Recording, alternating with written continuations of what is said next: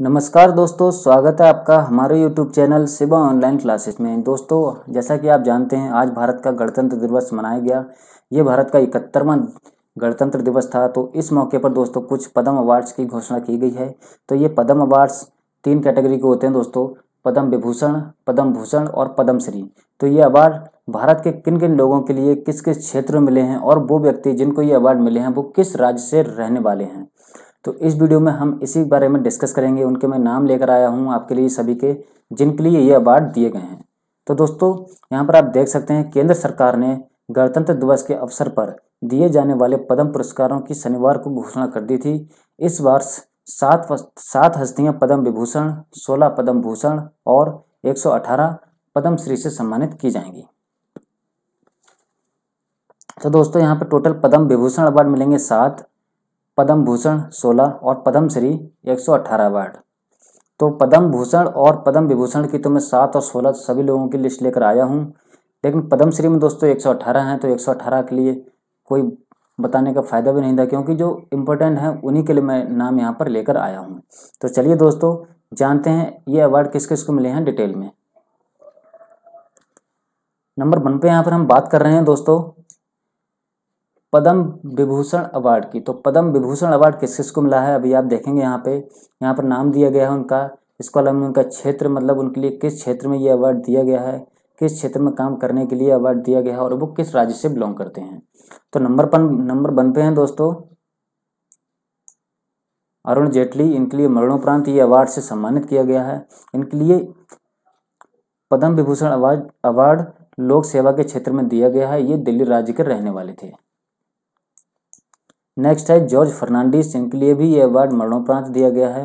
इनके लिए लोक सेवा के क्षेत्र में ये अवार्ड दिया गया है। ये बिहार के रहने वाले थे। एम सी मैरीकॉम के लिए आप सभी जानते ही होंगे, ये भारत की महिला मुक्केबाज हैं। इनके लिए पद्म विभूषण अवार्ड खेल के क्षेत्र में दिया गया है और ये मणिपुर राज्य की रहने वाली हैं। सुषमा स्वराज के लिए आप सभी जानते होंगे, ये बीजेपी की वरिष्ठ नेता थी। हाल ही में इनका निधन हुआ है। तो इनके लिए पद्म विभूषण अवार्ड मरणोपरांत दिया गया है 26 जनवरी 2020 के लिए। ये लोक सेवा के क्षेत्र में इनको अवार्ड दिया गया है, ये भी दिल्ली की रहने वाली थी। नेक्स्ट हैं दोस्तों, अनिरुद्ध जगन्नाथ। अनिरुद्ध जगन्नाथ के लिए ये अवार्ड लोक सेवा के क्षेत्र में दिया गया है और सबसे दिलचस्प बात यह है कि अनिरुद्ध जगन्नाथ भारत के रहने वाले नहीं हैं दोस्तों, ये मॉरिशस के रहने वाले हैं और मॉरिशस के ये पूर्व प्रधानमंत्री रह चुके हैं। तो ये थे पाँच लोगों के नाम। अभी हम दो बांधे जो और बची, उनके नाम भी जान लेते हैं, जिनके लिए पद्म विभूषण अवार्ड दिया गया है। नंबर छः पे आते हैं दोस्तों, छन्नूलाल मिश्र। छन्नू मिश्र के लिए ये अवार्ड कला के क्षेत्र में दिया गया है और ये यूपी के रहने वाले थे। नेक्स्ट आते हैं विश्वेश तीर्थकर स्वामी जी। विश्वेश तीर्थकर स्वामी जी के लिए भी ये अवार्ड मरणोपरांत मिला है दोस्तों। ये अन्य और आध्यात्म के क्षेत्र में इनको ये अवार्ड दिया गया है। ये भी कर्नाटक के रहने वाले हैं। तो ये थी दोस्तों उन सात लोगों की सूची जिनके लिए 2020 में पद्म विभूषण अवार्ड से सम्मानित किया गया है। नेक्स्ट आता है दोस्तों, अभी हम बात करेंगे, जैसा कि आप देख सकते हैं, स्क्रीन पे ऊपर पद्म पद्म भूषण 2020 ब्लिंक हो रहा है। तो ये जो नाम दिए गए हैं 16 व्यक्तियों के, इनके लिए 2020 में पद्म भूषण अवार्ड से सम्मानित किया गया है। नंबर वन पे आती हैं दोस्तों पीवी सिंधु। इनके लिए ये अवार्ड खेल के क्षेत्र में दिया गया है और ये तेलंगाना राज्य की रहने वाली हैं। नंबर दो पे आते हैं मनोहर पारिकर। इनके लिए ये अवार्ड मरणोपरांत दिया गया है। ये गोवा के पूर्व मुख्यमंत्री रह चुके हैं और जब इनका निधन हुआ था, तब ये गोवा के मुख्यमंत्री थे। तो इनके लिए भी ये अवार्ड लोकसभा के क्षेत्र में दिया गया है दोस्तों। नंबर तीन पर आते हैं सैयद मुजम्मल सैयद मुजम्मल अली।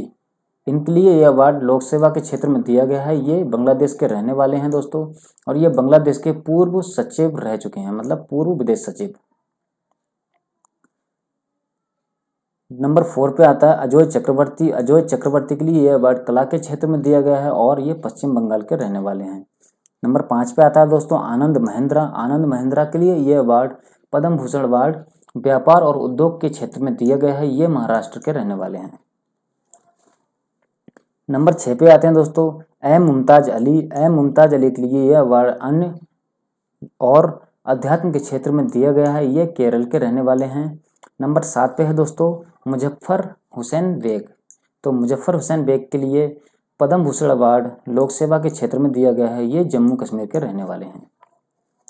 नंबर एट पे है दोस्तों, मनोज दास। मनोज दास के लिए ये अवार्ड साहित्य और शिक्षा के क्षेत्र में दिया गया है।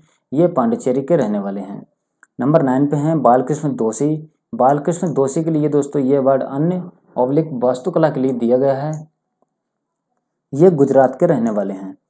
नंबर दस पे हैं कृष्णा मल्लाल जगन्नाथ। तो कृष्णा मल्लाल जगन्नाथ के लिए ये अवार्ड समाज सेवा के क्षेत्र में दिया गया है और ये तमिलनाडु राज्य के रहने वाले हैं। नंबर ग्यारह पे हैं वेणु श्रीनिवास। वेणु श्रीनिवास के लिए दोस्तों ये अवार्ड व्यापार और उद्योग के लिए दिया गया है। ये तमिलनाडु के रहने वाले हैं। तो दोस्तों, नंबर बारह पे आते हैं। एस सी जमीर, एस सी जमीर के लिए पद्म भूषण अवार्ड लोक सेवा के क्षेत्र में दिया गया है और ये नागालैंड राज्य के रहने वाले हैं।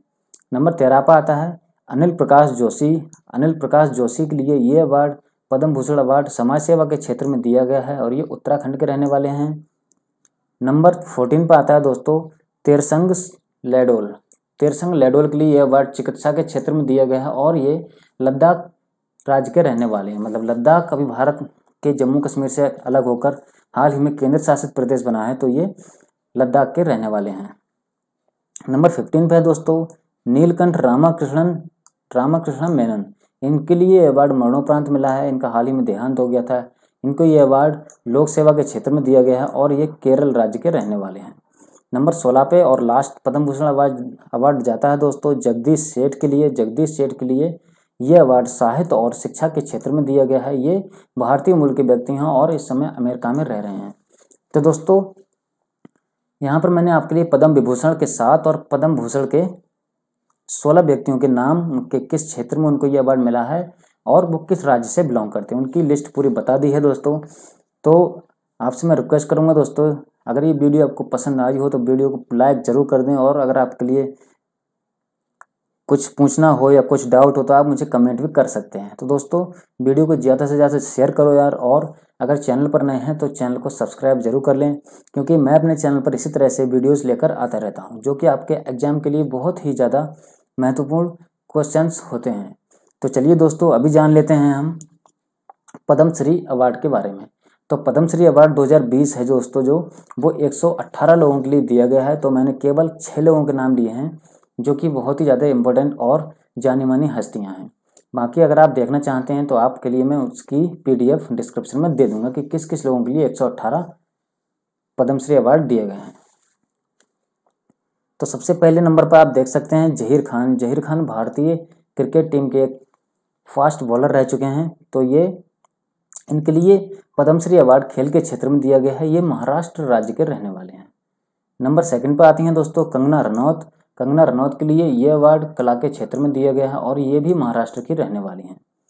नंबर थ्री पे है दोस्तों, एकता कपूर। एकता कपूर के लिए ये अवार्ड कला के क्षेत्र में दिया गया है और ये महाराष्ट्र राज्य की रहने वाले हैं। नंबर चार पे आते हैं सुधीर जैन। सुधीर जैन के लिए पद्मश्री अवार्ड 2020 में जो मिला है वो विज्ञान के क्षेत्र में दिया गया है। ये गुजरात राज्य के रहने वाले हैं। नंबर पाँच पे आते हैं दोस्तों, अदनाम सामी। अदनाम सामी के लिए तो आप सभी जानते होंगे ये बॉलीवुड स्टार हैं। इनके लिए भी एक अवार्ड जो है वो कला के क्षेत्र में दिया गया है और ये महाराष्ट्र राज्य के रहने वाले हैं। नंबर छः पे हैं दोस्तों करण जौहर। करण जौहर भारत के बॉलीवुड में फ़िल्म मेकर हैं और इनके लिए भी ये अवार्ड कला के क्षेत्र में दिया गया है और ये भी महाराष्ट्र के रहने वाले हैं। तो दोस्तों 118 में से मैंने आपको केवल छः लोगों के नाम बताए हैं जो कि बहुत ही ज़्यादा खास हस्तियाँ हैं। तो दोस्तों कैसी लगी आपको ये वीडियो? मुझे कमेंट करके ज़रूर बताइएगा दोस्तों और वीडियो को यार लाइक ज़रूर कर दें। और इस वीडियो को ज़्यादा से ज़्यादा शेयर करें। और दोस्तों, अगर चैनल पर नए हैं तो चैनल को सब्सक्राइब ज़रूर कर लें और साथ ही बेल आइकन को भी प्रेस कर लें, जिससे आपसे किसी भी इंपॉर्टेंट वीडियो की नोटिफिकेशन मिस ना हो। तो चलिए दोस्तों, कल फिर मिलते हैं एक नई वीडियो के साथ में। तब तक के लिए नमस्कार। जय हिंद, जय भारत।